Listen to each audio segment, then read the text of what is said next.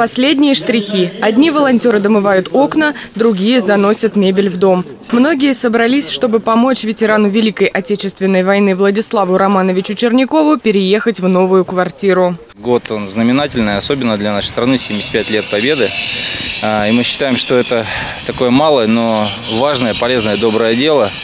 А, 3 числа, 3 августа мы связались с группой ПИК, а, посмотрели, соответственно, этап э, застройки и сдачи квартир, э, которые строит группа компании ПИК в микрорайоне Одинцово-1.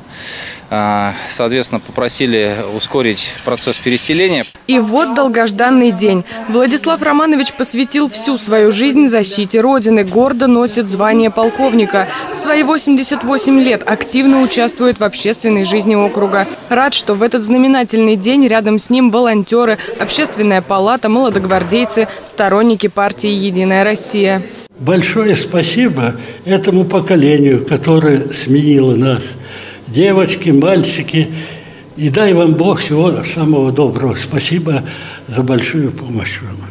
В новой квартире ветеран будет жить один. Дети и внуки заверили, приходить в гости будут часто. Квадратура соответствует, так же, как и было, даже, может быть, на метр больше.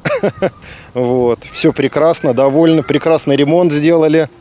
Жить можно, заезжать. Вот сейчас как раз занимаемся въездом в новую квартиру. Спасибо всем причастным. Все помогли очень здорово. В качестве приятного бонуса по просьбе члена общественной палаты Реваза Макацарии строительная компания подарила ветерану отделку балкона, которая не входила в опцию квартиры при переселении. Жилплощадь полностью готова к проживанию, осталось только расставить мебель. Елена Морозова, Артем Ломоносов, телекомпания «Одинцова».